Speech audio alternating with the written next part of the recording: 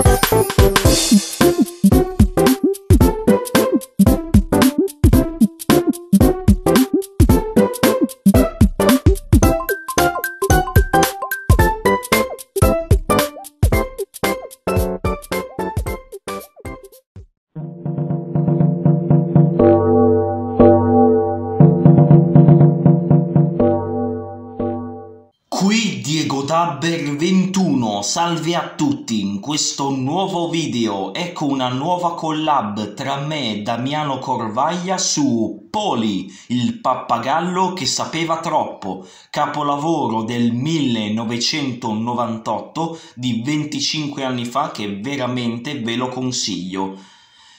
I ruoli rispettivi li vedrete in descrizione. Spero che questo video vi piaccia, un cirbil ciao a tutti i fan del doppiaggio da Diego Dabber 21, Dub is the world è il mio motto, buona visione a tutti, spero che il video vi piaccia perché si va a incominciare. Vuoi mangiare mango? Mm. Mango. Mm. Mm. Parla. Parla? No. Non c'è niente da fare. No, aspetti, la prego. Senta, professore, posso spiego un po' meglio. Eh, se io No, dico Ho detto abbastanza, adesso perché non ci lascia fare il nostro lavoro in pace facendo altrettanto? Per esempio, perché non porta via gli escrementi?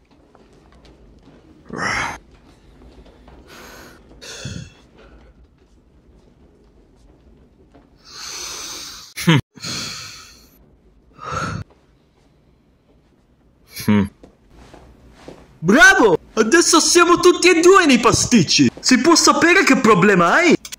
Lo sai che potrebbero, potrebbero imbalsamarti? Ti svuotano, ti riempiono di pali e ti appiccicano un ramo finto!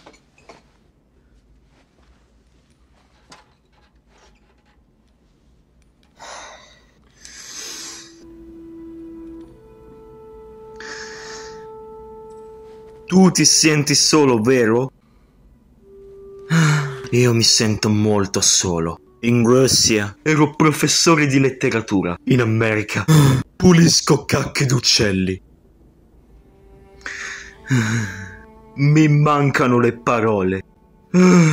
Mi manca la mia lingua.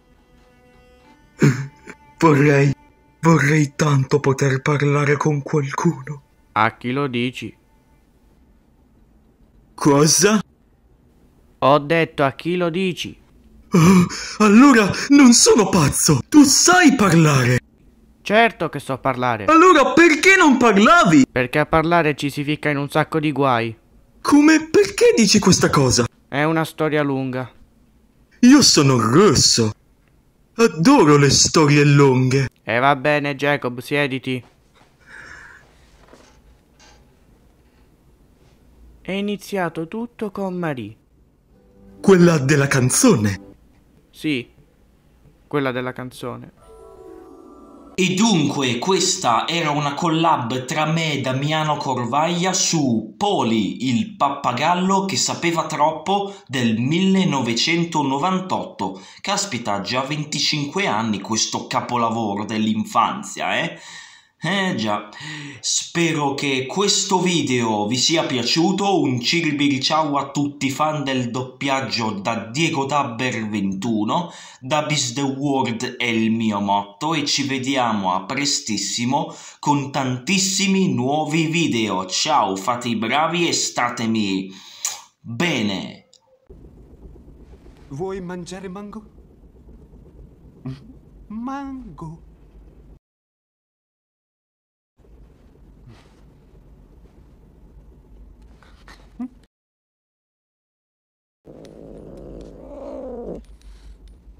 Parla? Parla? No. Non c'è niente da fare, lo sappiamo. No, aspetti, la prego. Senta, professore, posso spiegare un po' meglio. Eh, Se io Credo dico- abbia già detto abbastanza adesso perché non ci lascia fare il nostro lavoro in pace facendo altrettanto. Per esempio, perché non porta via gli escrementi.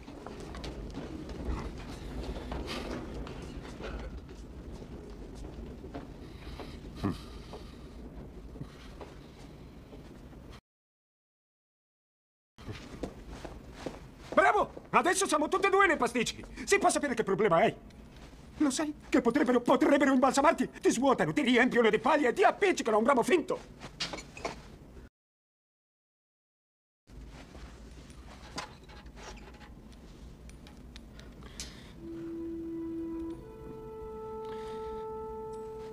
Tu ti senti solo, vero? Io mi sento molto solo. In Russia ero professore di letteratura. In America pulisco cacca di uccelli. Mi mancano le parole. Mi manca la mia lingua. Vorrei, vorrei tanto poter parlare con qualcuno. Vorrei, vorrei tanto poter parlare con qualcuno. A chi lo dici? Cosa? Ho detto, a chi lo dici? Allora, non sono pazzo, tu sai parlare. Certo che so parlare. Allora, non sono pazzo, tu sai parlare. Certo che so parlare. Allora perché non parlavi? Perché a parlare ci si mette in un sacco di guai. Come? Perché dici questa cosa? È una storia lunga. Allora, non sono pazzo, tu sai parlare. Certo che so parlare. Allora perché non parlavi? Perché a parlare ci si mette in un sacco di guai. Come? Perché dici questa cosa? È una storia lunga. Io sono rosso. Adoro le storie lunghe. E va bene, Chekhov, siediti.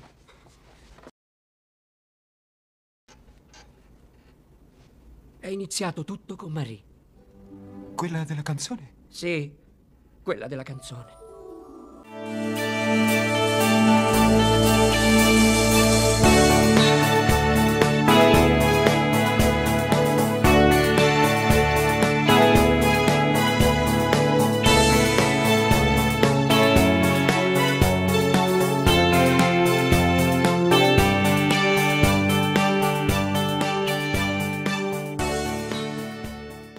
Come iniziare una storia intrigante? In medias res, ovviamente. Questo film di 25 anni fa, del 1998, cioè Poli, il pappagallo che parlava troppo, è la storia del titolare Poli, questo pappagallino, con uro capo azzurro per essere precisi, che ecco fa qualcosa di più che imitare le voci delle persone, ma fa sentire la propria di voce, perché ebbene sì, sa anche parlare. Ebbene, Misha, questo professore di letteratura russo relegato poverino a pulitore di popò di uccello, lo incontra nello scantinato un del laboratorio presso il quale fa questa degradante mansione e scopre questa sua capacità. Solo che il pappagallino nel frattempo ne ha passate tante che l'hanno reso molto poco propenso, insomma, al parlare con gli umani, ecco. E dunque quando Misha tenta di fare una dimostrazione di quello che ha scoperto, Poli silenzio di tomba. Naturalmente Misha, che ha appena fatto una figura da pollo, gli chiede spiegazioni, ammettendo di sentirsi molto ma molto solo. Poli a quel punto gli risponde, capendo di avere molto più in comune con lui di quanto pensasse. Eh, sai, non ho parlato perché, insomma, a parlare ci si ficca in un sacco di guai. È una lunga storia. Ma sai, lui essendo russo ci è abituato a sentire le storie lunghe e anzi gli piacciono ed è dunque così che ha inizio il racconto. La trama del film è essenzialmente Poli che cerca di ritornare a casa dalla sua padroncina Mary, amica sua fin dall'infanzia e fin da subito. Eh, magari anche noi umani amassimo così incondizionatamente come gli animali, che appunto scoprendo di poter parlare la aiuta insomma con la sua balbuzie, ma un suo tentativo di imparare a volare in modo da poter tornare da lei casomai si separassero risulta in Mary che rimane ferita, motivo per il quale i genitori decidono di mandarlo via e qui come avrete ben capito comincerà il suo viaggio. Tutto di questo film, dalle musiche di John Debney, alla trama, alla scenografia, alla bravura degli attori coinvolti sia in originale che in italiano, chapeau a un Edoardo Nevola veramente al bacio, è un assoluto bijou. Se conoscete Ed Ed Ed Eddie oppure Willy il principe di Bel Air, allora conoscete anche Edoardo Nevola. Data la trama, come ben capirete, il film brullica di momenti veramente commoventi. 1. Il rapporto tra Poli e Mary. Un vero esempio di quello che si dice l'amore incondizionato degli animali. 2. Quando Poli aiuta Ivy con i suoi problemi alla vista e le rimane accanto fino alla morte. E 3. Il legame che costruisce appunto con Misha il primo essere umano con cui ha interagito dopo che è stato segregato in quello scantinato del laboratorio, dopo che gli sono state tarpate le ali, poverino. Il dottor Reingold è veramente un pezzo di guano. All'inizio vuole condurre degli esperimenti su di lui per capire la sua intelligenza e gli promette falsamente di ritornare da Mary dopo che questi esperimenti saranno finiti. Quando si accorge che l'ha preso per il fondo coda, naturalmente reagisce e lo manda praticamente a fare in davanti a tutti come merita e a chiamarlo bugiardo, bugiardo, bugiardo. Gliel'ha proprio detto forte e chiaro. E per impedirgli di scappare, il maiale gli tarpa le ali e lo condanna allo scantinato. Certe volte noi umani siamo veramente peggio delle bestie. Non vi faccio spoiler naturalmente sul finale, ma vi dico solo che è un lieto fine. E questo dovrebbe bastare a farvi immaginare come va a finire la storia. Beh, che altro dire, un film davvero bello, che avrà fatto l'infanzia di molti. Poli, buon venticinquesimo anniversario. Con questo chiudo, al prossimo video. Ciao fate i bravi e mua, statemi bene. Allora, non sono pazzo, tu sai parlare. Certo che so parlare. Allora perché non parlavi? Perché a parlare ci si mette in un sacco di guai. Come? Perché dici questa cosa? È una storia lunga. Io sono rosso. Adoro le storie lunghe. E va bene, Chekhov, siediti.